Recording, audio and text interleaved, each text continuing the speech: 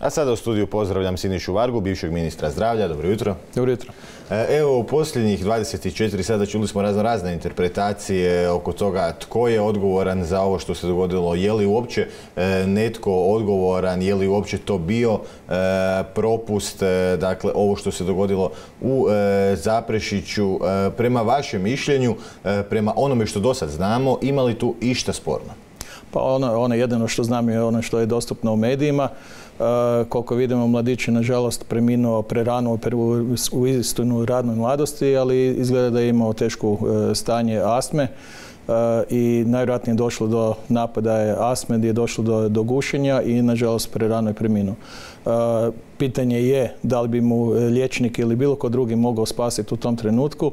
Eh, bilo bi stvarno u istinu splet okolnosti da je bilo dostupno i sva oprema i svi lijekovi potrebni da bi se i znanje i vještine eh, osoblja da bi moglo spasiti život. To će utvrditi zdravstvena inspekcija Ministarstva zdravstva. Eh, je li problem nedostatak tih T1 timova? Pa e, mi smo, e, obzirom da smo mi zatekli 2011. kad smo došli na vlasti tijekom 2012. i vidjeli smo da postoji probleme u organizaciji hitne medicinske službe u Republici Hrvatskoj. E, reforma koja je napravljena u sklopu projekta Svjetske banke do tada, do 2011. je dalo određen rezultat u definiranju mreže. Međutim, vidjeli smo da je tu nedostaje i educiranost kadra, i dovoljni broj timova, i dovoljni broj vozila, i educiranost i kompetencije i osnovali smo povjerenstvo u istinu stručnih ljudi koji su e, prilično dugo sastavljali svoj prijedlog i prijedlog je bio da se de facto treba u, timovima ukinuti liječnika na terenu. E, e, treba posebno educirati i usko specijalizirati za hitnu medicinsku pomoć srednji i viši kadar u zdravstvu, znači medicinske sestre, medicinske tehničare, ali isto tako i vozači za osnovno održavanje života. I to je nešto što je trebalo onda udvostručiti naše kapacitete da dosegnemo nekakve europske prosjeke po pitanju dostupnosti hitne medicinske pomoći od stana, odnosno radnog mjesta e, i u velikim prometnicama, tako da e, podignemo razinu preživljavanja ne samo za ovako stanje asme, srčanog udara, moždanog udara, već isto tako i za prometne nezgode gdje nažalost preživljavanje u Republici Hrvatskoj je daleko ispod očekivanja od e, prosjeka unije. Je li to zbog nedovoljne brzine reakcije pa e, jednostavno udaljenost tima do mjesta nesreće je u, u Republici Hrvatskoj prevelika. E, europski standard je de facto hitna helikopterska medicinska služba gdje liječnički tim i educirani, e, educirani kadrovi vrlo brzom roku dolazi do mjesta unesrećenog, odnosno oboljelog. Ovdje konkretno u Zaprešiću, koliko vidimo, to je bilo u istinu blizu što se tiče kola. Međutim, E, kadar koji dolazi, znači vozač i, i srednja medicinska sestra, odnosno tehničar, e, jednostavno nemaju tu kompetencije e, i, i znanje, ali isto tako i kola im nisu opremljene da mogu ovakve slučajeve rješavati efikasno. Shvaćate u ovakvim situacijama taj bijes javnosti, pogotovo kada čujemo ove izjave kao što smo sad mogli čuti od dogradonačelnika Zaprešića koji je rekao eto to je naša realnost, maltene e, ako vama pozlije možete se samo nadati da nekome nije istovremeno pozlilo na žumberku. E, svi smo mi i svoje životne priče imamo. Uh, jedan od glavnih razloga zašto sam kao ministar i oformio povjerenstvo da se, da se rješava pitanje hitne medicinske pomoći, zato jer je te jedan tim sa liječnikom, uh, meni bliskoj obitelji i osobi, krivo dijagnosticirala infarkt i ta osoba je preminula prerano uh, uslijed infarkta zbog neprepoznatih simptoma. Da facto je još primijenjeni i krivi lijek. Govorimo ne samo o, o opremljenosti kola i brzina dolaska, već e, znači e, te osobe moraju imati te kompetencije, ta znanja, to iskustvo da mogu rješavati hitne slučajeve e, efikasno. U Hrvatskoj liječnici, nažalost, veliki broj liječnika koji rade u hitnoj pomoći u, Republici Hrvatskoj su mladi liječnici tek iz fakulteta koji iščekuju specijalizaciju u bolnicama. To je hvale vrijedno e, mjesto za stjecanje iskustva, ali nije dostatno za e, zbrinjavanje hitnih stanja koje imamo na terenu. Znači, rano prepoznati simptome, rano započeti liječenje, stabilizacije pacijenta do dolaska u bolnicu. I stoga smo mi zagovarali reformu da svi liječnici se izmaknu u centre za objedinjeni hitni prijem u bolnicama, po potrebama se oni izmaknu na teren kada je potrebno, međutim to postoje njihova centrala educirani kadar, e, srednji i viši kadar koji je e, educiran za stabilizaciju pacijenta i za hitni transport brže, brže bolje u zlatnom satu mora i dovesti pacijenta u objedinjeni hitni prijem. Da li kolima, helikopterom ili bilo koji drugi način. E, dobro, oformili ste povjerenstvo, rekli ste krenulo se u tome smjeru. No smatrate li da je postignuto to što ste htjeli ili još uvijek e, ne postoji ta dovoljna brzina, pogotovo kada vidimo ovakve slučajeve? Pa e, kao što sam rekao, reforma je započeta 2011. Mi smo nastavili tu reformu koju smo mi naslijedili od HDZ-a jer smo smatrali da je to e, normalna stvar da, nastoji kontinuitet vlasti. Međutim, HDZ nema tu politiku. 2016. godine dolaskom na vlast sve okrenuli naopako, ukinuli su značajni broj timova na terenu svi znamo za afere za Zlarin i za Tisno gdje su smanjili broj dostupnosti e, hitne medicinske pomoći na terenu. E, nažalost, e, nisu pratili reformske mjere koje su stručnjaci rekli i danas imamo što imamo, da imamo nedovoljni broj educiranog i kompetentnog kadra na terenu. Kola hitne pomoći nisu opremljene sa dostatnom opremom. Potpuno su ukinuli bilo kakve razgovore o hitnom helikopterskoj medicinskoj službi i danas imamo situaciju takvu da e, nažalost mladi ljudi ginu svaki dan e, nama se sad desilo i da je e, ravnatelj KBC-a Split preminuo na plaži. Nije bilo dostupno ni spašavanje na, na, na, plaži i liječnik koji je bio pored njega kao slučajni prolaznik turista nije imao niti opremu, niti, niti mogućnost da, da mu spasi život.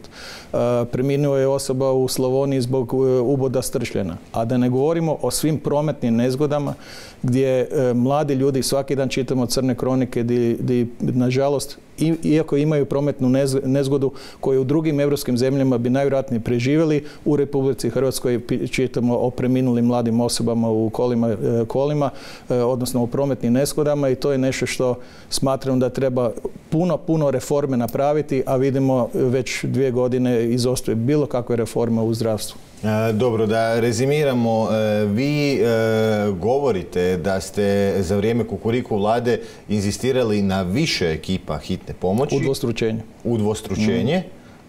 No, ako sam dobro razumio jučer zaprešičkog gradonačelnika, on je rekao da baš za vrijeme kukuriku vlade se nije išlo u to, barem na njegovom području, nego da je smanjen broj. Pa evo, evo, e, ono što je definirano bilo 2011. godine kao mreža hitne medicinske pomoći, de facto se nije mijenjala e, do 2016. godine. E, činjenica je da je reforma koja je napravljena za vrijeme HDZ-ove vlasti priješnje, naglasio sam da je taj model te mreže nastavljen tijekom mog mandata uz formiranje povjerenstva da se napravi kompletna reforma, da se napravi kompletni novi sustav, da, da vozači u hitne medicinske pomoći postoje paramedikusi, da e, srednji kadar i viši kadar postanu, da imaju te kompetencije, te vještine da mogu zamijeniti adekvatno liječnika u kolima hitne medicinske pomoći i na taj način udvostručimo kapacitete. A liječnik bude na svom prirodnom mjestu u objedinjenom hitnom prijemu. Ja sam bio ministar godinu i četiri mjeseca, to je iluzorno da se tako velika opsežna reforma može napraviti u tom e, kratkom roku. To je bio plan za 2016. i 2017. Danas smo u 2018. godini vidimo da e, nova vlast koja je došla 2016. odnosno 2017. izostaje bilo kakve reforme. E, neću vas pitati, smatrate li da Milan Kuđić treba podnijeti ostavku iz moralnih razloga, ali pitat ću vas, rekli ste, bili ste godinu i četiri mjeseca ministar, da se vama dogodi ovakav slučaj, bili vi razmišljali o ostavci? Pa e, ja bi razmišljao o ostavci da nisam apsolutno nikakve reforme provodio. Prema tome, ako sam ja smatrao da je sustav dobar i da ga treba tako nastaviti, onda bi smatrao sebe odgovornim. E, obzirom da sam ja smatrao da je loš sustav, da treba ga e, unaprijediti, da treba ga značajno promijeniti, onda svaki slučaj sporadični pojedini koji se desi, nažalost, i pogotovo kada se radi o mladim ljudima, je nešto što je rezultat stečenog stanja. Međutim, ministar Kunđić uporno ponavlja da je sustav dobar takav kakav je, ne treba ga mijenjati, da se radi sve po pravilima struke. Nažalost, u takvom sustavu gdje se poštuje ta pravila koje je njegovo ministarstvo odredilo, ljudi nažalost prerano preminu. Dobro, shodno tome što ste e, sada rekli, e, smatrate li onda da on treba podnijeti ostavku? Pa to je, to na njemu. To ono, e, profesor Kunđić se jako naglašava koliko je njegov, on kao moralna osoba visokih etičkih načela, to je na njegovoj duši. On mora prvenstveno sam procijeniti da li sustav koji on zagovara, koji zagovara da je dobar, a polučuje to da, da mladi ljudi umiru prerano, to je na njegovoj duši da on sam procijeni. Dobro, ali je li ovo dolazi do te razine e, razmatranja ostavke? E, moj mandat kao ministar je bio svaki dan na raspolaganju premijeru. Prema tome, onog trenutka kada premijer procijeni da je njegov ministar ne radi dobro, onda će doći ili do smjene, a govorimo, a kad govorimo o moralnosti, moralnost je prvenstveno osobna stvar, to je na samom ministru Kunđiću da procijeni. E, bili ste dugo u Kanadi, evo idemo dakle možda malo usporediti, čisto da približimo kako je drugačije, jer ovdje ljudi kada čuju doslovno da su te ogromne udaljenosti e, Jastrebarsko, e, Samobor e, koje moraju čekati hitnu, zvuči nevjerojatno. Pa onda me zanima primjerice ovo je predgrađe Zagreba, predgrađe mhm. Toronta. Je li se tamo isto događaju takve stvari, je li isti omjer vozila kola hitna pomoći na broj stanovnika? To je, taj, taj segment je malo teže procijeniti zato jer u Kanadi su svi pružatelji zdravstvenih usluga privatni. Prema tome, to je, to je nešto što je e, organizirano sa primarne razine. Možemo dati sličnu usporedbu sa Slovačkom gdje je kompletna e, hitna medicinska pomoć privatizirana. Po koncesiju provodi firma Falke iz Danske i nema niti jednog liječnika u kolima hitne pomoći, ali imaju značajni broj E, kola sa vrlo striktnim protokolima koji se poštivaju u spašavanju života i polučuje bolje rezultate u Republici Hrvatskoj. Ja nisam zagovaratelj privatizacije, nego sam zagovaratelj za uvođenje reda i korištenje međunarodnih iskustva koje daju pozitivne rezultate. Smatram da u postojećem sustavu koji imamo u Republici Hrvatskoj sa određenim reformskih mjerama koje su prihvatljive i mogu se napraviti, strukaju, e, ne samo da ju prihvaća, nego strukaju i zagovara a to je da izmaknemo liječnike iz, iz timova hitne medicinske pomoći i da podignemo razinu kompetenciju i znanja samih e, srednjeg kadra i višeg kadra koje imamo e, u kolima i na taj način možemo onda e, spašavati živote boljim, bolje i efikasnije što se danas čini. dobro, toliko za sad do hitnoj pomoći. Siguran sam da ćemo još govoriti o tome. Sada bih vas pitao vezano za E, inicijativu ministra zdravstva koji koja baš i nije naišla e, na odobravanje unutar same vlade, a to je e, vezano za drastično povećanje cijene cigareta i e, alkoholnih pića. Bili vi to podržali? Bili to za vas trebala biti jedna stvar koja je onako nadstranačka i gdje bi trebali ipak možda ovi zastupnici koji imaju doktorskog iskustva, koji su liječnici, jučer smo čuli vašu kolegicu Biljanu Bozan koja je rekla da bi načelno e, podržala to možda ne baš na taj način s tim povećanjem, ali da se slaže da se ide e, u tome smjeru. Bili vi podržali to povećanje cijene? Dakle, javno zdravstveni radnici, odnosno cijela svjetska zdravstvena organizacija definira da je e, pitanje suzbijanja loše navike, a to je korištenje duhana, pušenje duhana, E, nešto što, je, e, nešto što se valja suzbiti i postoji samo dvije metode koje su dokazane u svijetu da, da su efikasne. Jedno je povećanje cijene, a drugo je smanjenje dostupnosti. Znači, apsolutna zabrana na svim javnim mjestima e, i drastično povećanje cijena cigareta je način koji su zemlje koje su to napravili prije 20-30 godina su uspjeli se smanjiti to da recimo Kanada i Sjedine američke države već imaju manje od 10% stanovništva da puši. E, e, europski prosjek je oko 23%, dok je u Republici Hrvatskoj 34%. To je 34% ima svoj vrlo loš utjecaj na zdravlje pučanstva, prvenstveno kad vidimo da je broj jedan sjelo raka kod muškaraca, e, rak pluća i rak, rak grla i bronha i to je nešto što je direktno povezano sa lošom navikom pušenja u Republici Hrvatskoj. Isto tako imamo vrlo lošu statistiku za naš pomladak, imamo mlađe od 15 godina da redovito puše izrazito veliki broj, ono, negdje smo pri vrhu Europe, a ono što je interesantno vidjeti u statistici da djevojčice polako preuzimaju iznad dječaka kao, ajmo reći da pokušavaju biti frajerice, ali isto tako e, e, to je jednostavno predostupno je pušenje e, cigareta mladim ljudima u Republici Hrvatskoj. Prejeftina je cijena, nedovoljno se govori u javnosti o štetnosti samog pušenja, a isto tako znamo koliko su, nam zadimljeni kafići i pojedini, nažalost, i restorani gdje se i dalje puši na javnim mjestima to je nešto što e, moramo svi zajedno, bez obzira na političke boje, bez obzira na e, bilo kakvih svjetonadzora, moramo zbog naših mladih, ali i zbog sebe samih e, smanjiti pušenje u Republici Hrvatskoj. Znači, podržali bi taj korak? Apsolutno. E, I za kraj još da vas pitam, e, stanje u SDP-u. Konstantno se bavimo tim unutar e, godinu dana. Sada smo imali ove najnovije razvoje u mjesecu srpnju, dakle prošli mjesec i glavni odbor. Što uopće se sad događa unutar same stranke? Znamo da dvije trećine saborskih zastupnika je tražilo da šef stranke odstupi. Kako će to sad funkcionirati na jesen uopće?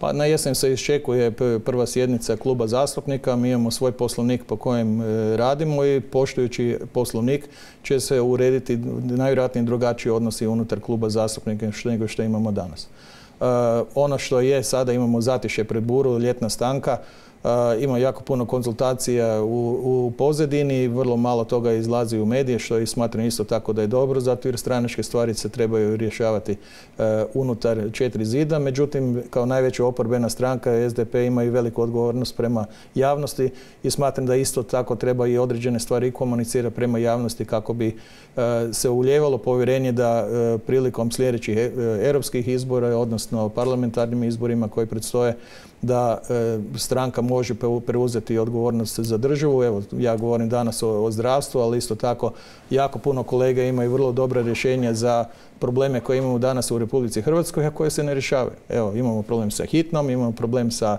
uh, pitanje eura, imamo uh, puno, stvari koje su uh, i gospodarstveni i društveni i socijalna pitanja koje nažalost danas izostaju bilo kakve reforme, zbog čega dobivamo ukore i od Europske unije i od Europske komisije da se reforme ne prevode ali u, javnosti u Republici Hrvatskoj još uvijek nije došlo do te percepcije da nedostatak tih reformi šteti na, na, naš i kućni budžet, ali i na naše zdravlje i na, na naša socijalna stanja. E, smatram da te reforme se trebaju čim prije početi odvijati. Ukoliko to HDZ nije kadar napraviti, a očito da nije, onda može to SDP. E, pa da, kada spominjete sva ta e, rješenja ili prijedloge rješenja od strane e, SDP-a, zanimljivo je baš to vidjeti.